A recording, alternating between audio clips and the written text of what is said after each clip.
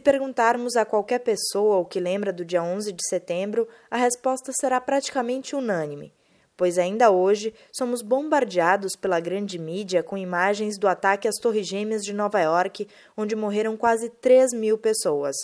Mas nesta data também ocorreu outra tragédia no continente, quando em 1973 militares chilenos deram início a uma ditadura que causou a morte de mais de 40 mil pessoas. 40 anos atrás, um golpe de Estado dava fim ao primeiro governo socialista constitucional do nosso continente. Após mil dias de governo, Salvador Allende morre dentro do Palácio de La Moncada, em Santiago do Chile. Nas ruas, o exército tomava o poder, instaurando uma das mais sangrentas ditaduras da América Latina, mostrando os limites deste modelo de governo. Allende foi eleito presidente em 1970.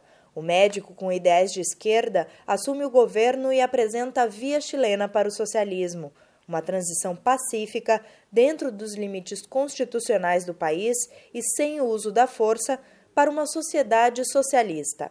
A nova proposta chama a atenção Durante um período em que o continente estava tomado por ditaduras militares, o Chile virou um refúgio para quem era de esquerda e sonhava com uma sociedade igualitária. Estima-se que o país chegou a abrigar entre 3 e 5 mil exilados políticos brasileiros. Para colocar em prática esse novo jeito de governar, Allende vai nacionalizar bancos e minas de cobre e fazer a reforma agrária. O governo chegou a ter o controle de 60% da economia chilena. Não demorou muito para que isso causasse a insatisfação de grandes corporações norte-americanas.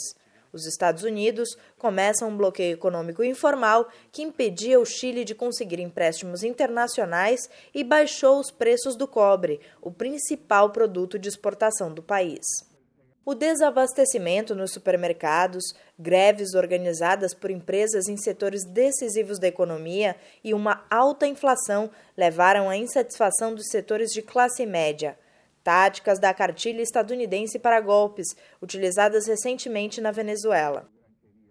No dia 29 de junho de 73, o comandante em chefe do exército chileno, o constitucionalista Carlos Prates, consegue evitar a primeira tentativa golpista.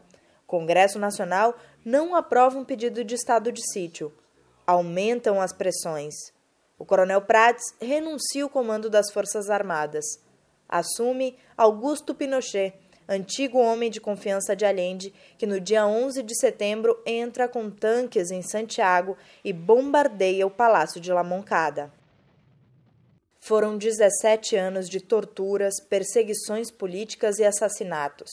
A ditadura mais sangrenta do nosso continente deixou um saldo de mais de 40 mil mortos certificados oficialmente, mas grupos de vítimas acreditam que pode superar os 100 mil mortos. Mucho más temprano que tarde, de nuevo abrirán las grandes alamedas por donde pase el hombre libre para construir una sociedad mejor. As ditaduras na América Latina serviram para conter os processos progressivos que se espalhavam pelo continente após a Revolução Cubana. Elas adiaram, mas não impediram que nossos povos voltassem às ruas derrubassem as ditaduras e elegessem governos progressistas, como na Venezuela, Bolívia e Equador.